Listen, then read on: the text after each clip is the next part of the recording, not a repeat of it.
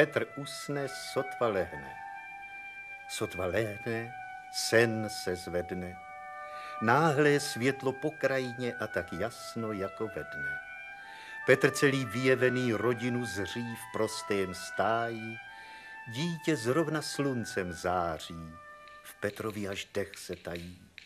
Vzduch je plný andělíčků, třpití se a křídly šumí, každý zpívá haleluja krásně, jak jen anděl umí.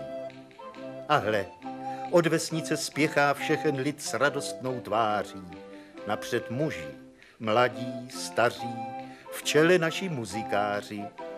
Vašek velký buben tluče, Matěj troubí, Martin hude, Vojta na klarinet píská, Kuba měchem bas jim dude. A ti hrajou jako nikdy, tváře dmou se lítá ruka, písnička tak mlastně skočná, že až Petru nohou cuká. Zmlkli.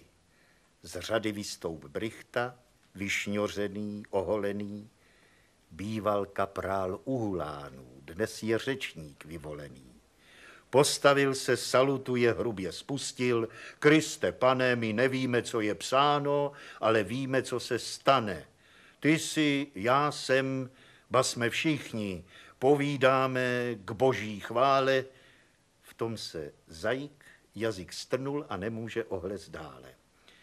Ruka v úzkostech se svírá, red se jako lupen chvěje. Ty to vyved, Petr nahlas ze snahulánu se směje. Ježíšek však milostivě. Všichni jste mé hodné děti, vaše duše poskonání hubky na nebe si vletí.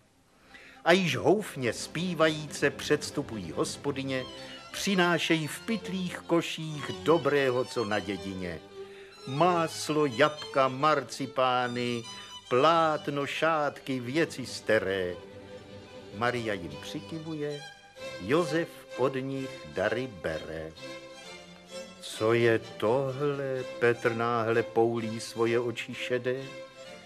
Dvanáct panen třináctou si na růžové pentli vede. Dvanáct panen, dvanáct růží. Těťátko, ty nejjasnější, přivádíme Anduličku, že je z nás všech nejkrásnější. To si myslím, Petr mručí. Anduličku tobě vedem, aby za nás všecky dala hubičku ti jako s medem.